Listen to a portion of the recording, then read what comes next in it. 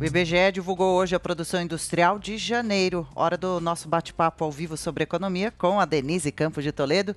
E então, qual a conclusão? Afinal, como começa o ano o setor industrial, Denise?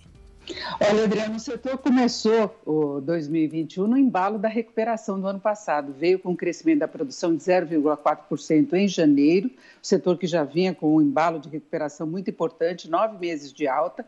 Nesse período, a expansão foi de 42,3% aumento da produção, mas isso depois de um tombo de 27,1% naquele pior período de impacto da pandemia. Foi logo no início, quando teve uma restrição muito maior de atividade, ninguém sabia ao certo o que ia acontecer, então houve um um tombo lá pesadíssimo, né? Chegou ao fundo do poço. Então, a base de comparação da recuperação depois foi essa, né? Foi essa referência do tombo. Tanto que, quando se pega aí o acumulado em 12 meses, o setor ainda está com uma queda de 4,3%.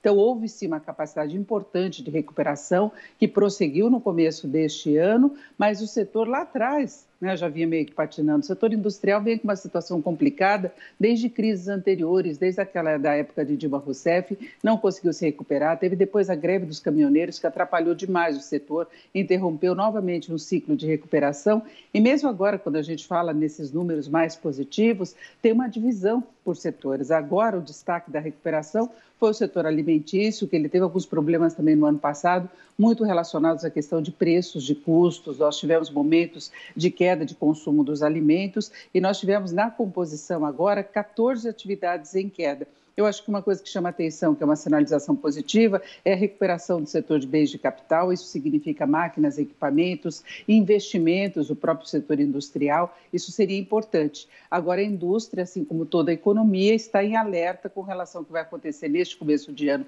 efetivamente, fora esse embalo que vem do ano passado, porque a gente está vendo novas interrupções de atividade. A pandemia pode levar as pessoas a ficarem mais retraídas, mais cautelosas, consumindo menos. Auxílio emergencial deve voltar a ser pago agora, no mês de março, com um valor muito menor. Então, tem essa possibilidade de uma retração de atividade no primeiro trimestre, que pode pegar também a indústria, mas a indústria começou bem o ano. Ah, que bom.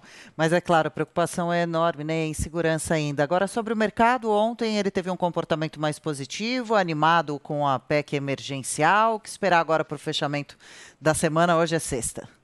É, exatamente. O mercado se animou com a PEC emergencial, não porque ela seja uma maravilha e adiante do que se esperava em termos de corte de gastos. Ah, o teor dela foi bem amenizado no que significa aí acionamento de gatilhos, mas é que o mercado estava com medo, você bota o bode na, bode na sala, então havia receio de uma flexibilização muito maior de gastos. Isso não aconteceu, o mercado comemorou a aprovação no Senado, espera na Câmara na semana que vem. Mas o dólar já reduziu a animação ontem no fechamento dos negócios, tem muitas preocupações no doméstico, e tem no exterior a pressão de juros sobre os títulos americanos de prazo mais longo. E aí o presidente do Federal Reserve, do Banco Central dos Estados Unidos, fez um pronunciamento ontem e ele não quis amenizar muito essa situação, como se ele não se estivesse importando muito. Então, o mercado continua trabalhando com a possibilidade, sim, de alguma elevação dos juros nos Estados Unidos pelo Federal Reserve, caso a economia americana reaja, especialmente diz respeito ao emprego, ou haja alguma pressão inflacionária decorrente até desses estímulos todos que estão sendo concedidos lá.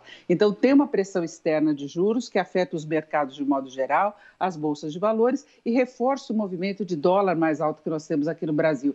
E agora, na abertura, o dólar já sobe 0,45% e a cotação de venda do comercial já passa dos R$ 5,68, Adriano.